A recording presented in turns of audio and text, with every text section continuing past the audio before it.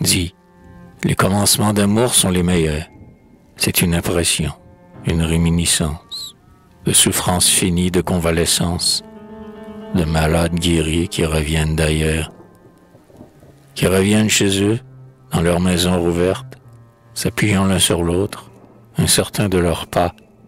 Ils vont se regardant et parlant encore bas, à travers le jardin dont la pelouse est verte.